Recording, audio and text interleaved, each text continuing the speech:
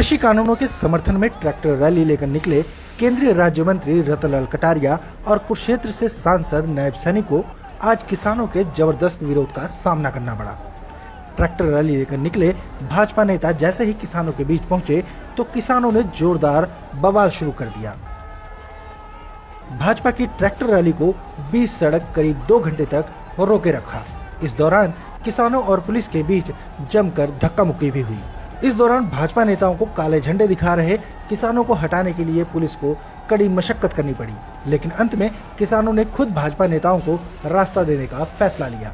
मगर इस दौरान भी किसान भाजपा नेताओं के ट्रैक्टर के साथ साथ नारेबाजी करते चल रहे थे। वहीं किसानों ने कहा कि एक तरफ़ सरकार कोरोना का हवाला देकर बड़ी बड़ी बातें कर रही है और दूसरी तरफ़ उनके ही नेता ट्रैक्टर रैलियाँ कर रहे हैं। ऐसे में इन पर भी कार्रवाई होनी चाहिए। वहीं किसानों का ये भी कहना था कि भाजपा के पास हवाई जहाज़ खरीदने के लिए तो पैसे हैं मगर किसानों को देने के लिए नहीं। तो ना लीडर कितना फिर रैलियाँ कर दे। अगर कोरोना है? तो बता एक सौ चौवालीस लाओ। कि ये तीनों काले कानून वापस ले लो और किसान को तंग ना करो। ये अपने लिए तो इनके पास जहाज़ खरीदने के लिए सतासी सतासी सौ सतासी सतासी हज़ार करोड़ रुपया तो आ जाता है। किसानों की फ़सल का देने के इनके पास पैसा नहीं है। दो जहाज़ लेके आया ये। मूर्ति बना दी इनने इतने पैसे की। कहाँ गया वो पैसा जनता का? जनता का पैसा बर्बाद कर दिया इन्होंने।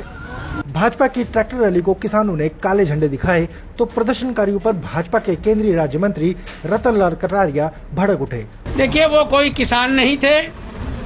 वो विभिन्न राजनीतिक दलों के बिचौलिए वहाँ पर एकत्रित हुए थे, जिन्होंने कानून और व्यवस्था को भंग करने की कोशिश की और एक पीसफुल प्रदर्शन को जो है रोकने की कोशिश की।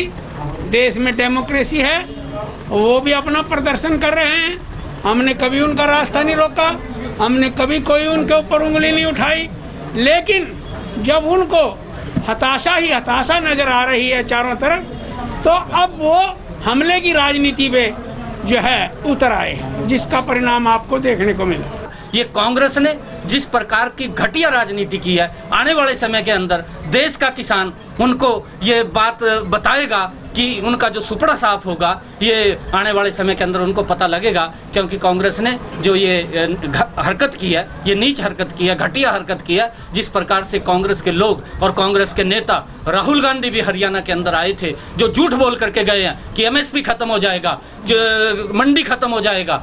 अरे क्या कहूँ उसको मैं? राहुल गांधी को जो मंदबुद्धि है, उसको यही मालूम नहीं है कि जब ये लोकसभा के अंदर बिल आए थे, तब तो वो चला इटली में भाज गया था। और जब वो पास हो गए हैं, पास होकर के जब वो किसानों के अंदर झूठ बोलने के लिए यहाँ पर आ गया है तो उसको ये समझना चाहिए कि किसान की मजबूती में है।